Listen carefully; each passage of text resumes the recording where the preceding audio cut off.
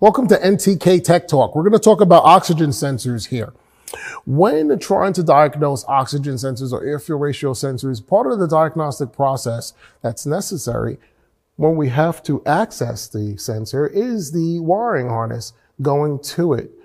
What's very important for us to keep in mind is how we are probing to access the circuit to read it. Number one, obviously with your regular four wire heated oxygen sensor, we want to be able to make sure that the heater circuit works. Verifying everything else is secondary because without the heater circuit in full operation to get that oxygen sensor or air fuel ratio sensor up to temperature, everything else is irrelevant. So yes, circuit testing is extremely important, but how we probe is very important for us to review because you could damage the oxygen sensor connectors and cause additional issues that could affect the circuit.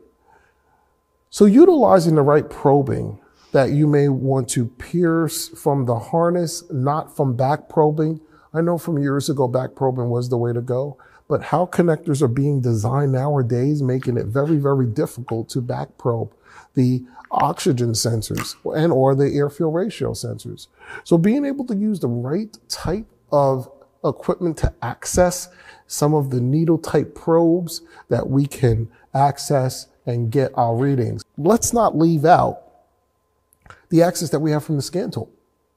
If we're able to graph our voltages that we see from your normal heated oxygen sensor and be able to see the activity, that within itself gives us a good idea of what's happening with the circuit.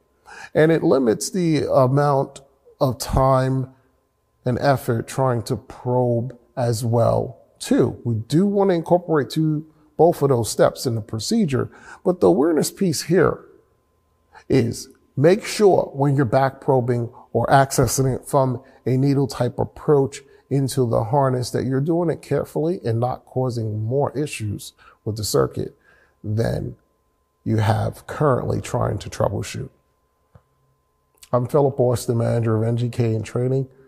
Thank you for listening.